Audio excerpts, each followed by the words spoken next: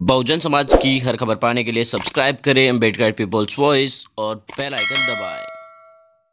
Hello friends, मैं नरोत्तम लोडी और आप देख रहे हैं हमारे YouTube channel Ambedkar people's voice को। दरअसल आपको बताया कि समाजवादी पार्टी तब जब मुलायम सिंह यादव, उसके राष्ट्रीय अध्यक्ष हुआ करते थे, तब उसे अग्रेसन बोर्ड में माना जाता था। कहा जाता था कि समाजवादी पार्टी उस समय इतनी खतरनाक हुआ करती थी कि हर किसी मुद्दे के ऊपर भी समाजवादी पार्टी के कार्यकर्ता सड़क पर ही मिला करते थे। कहा यह भी जाता था कि समाजवादी पार्टी के कार्यकर्ता उस समय हर मुद्दे को इतना हाईलाइट कर देते थे। शायद यही वो वजह थी, यानी संघर्ष जिसे कह सकते हैं आप, यही वो वजह थी कि मुलायम सिंह यादव के समय पार्टी शिखर की बुलंदियों पर छू रही थी। उस समय बेटे खुद मुख्यमंत्री तो पिता भी राज्य की बाहर, केंद्र की राजनीति के इर्द गिर्द दिखाई देने लगे थे। लेकिन पिछले एक दशक से देखिए तो समाजवादी पार्टी धरातल से गायब होती नज़र आ रही है।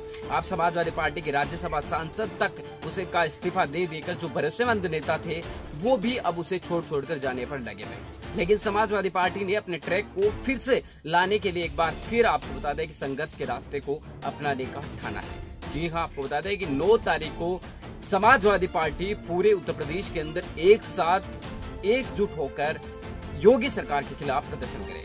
जी हाँ आपको बता दें कि उत्तर प्रदेश के अंदर बढ़ रहे रेप, बेटियों के साथ अन्याय, छेड़छाड़ या दलित यादवों के साथ हत्या, इन प्रकार की तमाम घटनाओं के विरोध में कानून व्यवस्था को लेकर समाजवादी पार्टी एक बार फिर सड़क पर होगी। राष्ट्रीय केंद्रीय जो उनकी समाजवादी पार्टी की कमेटी है, उसकी तरफ़ से ये आदेश दिए गए हैं कि 9 अगस्त को आपको पूरे उत्तर प्रदेश के अंदर तमाम जगहों के ऊपर ईवीएम के खिलाफ आंदोलन छेड़ना है। इसी प्रकार अब अगर ऐसा होता है तो ये समाजवादी पार्टी के लिए काफ़ी ज़्यादा सजग होगा, क्योंकि समाजवादी पार्टी को ज़मीन पर उतरना अब बहुत ज़्यादा ज़रूरी है। अगर समाजवादी पार्टी ऐसा नहीं करती है तो समाजवादी पार्टी के लिए मुश्किलें काफ़ी खतरनाक होने वाली है। आपको बता दें कि कई दिनों से उसके नेता भी उसके साथ साथ छोड़ कर जा रहे हैं, क्योंकि नेता खुद ये तत्व नहीं समझ पा रहे हैं कि क्या समाजवादी पार्टी फिर से उभर पाएगी। वहीं अखिलेश यादव की चुप्पी भी कार्यकर्ताओं को सहन नहीं हो रही है। मिलेगी किसी नई वीडियो, नई अपडेट के साथ। तब तक आपसे लेते विदा। देश दुनिया की तमाम खबरें पाने के लिए आप हमारी website W W dot Ambedkar people's voice को ज्वाइन कर सकते हैं। नीचे डिस्क्रिप्शन में आपको लिंक